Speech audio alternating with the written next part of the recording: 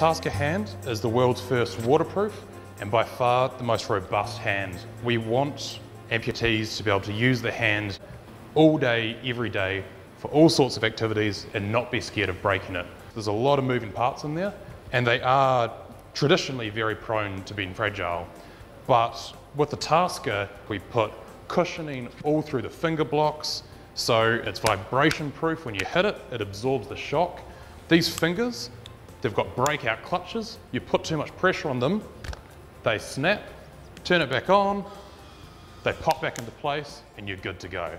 The hand is proportionally controlled. It's controlled through electrodes in the amputee's arm. So if they give a really small signal, they can do small, soft movements. But if they give a powerful signal, the hand can move fast.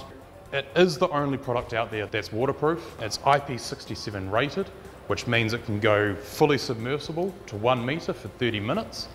A lot of other pans, people will take them off and leave them in cupboards because they're scared of breaking them, whereas you can wear this all day and never be worried. So one of the ideas behind the Taska hand is it's not made to be used with a cosmetic. So you can see here, this is the design. You know, it's got hexagons, it's got grips. It's designed to look good without any other covers. With a product like this, people can be proud and show off. It's a really good functioning product. They can use it for so many different things and they can be proud to wear it and proud to show it off.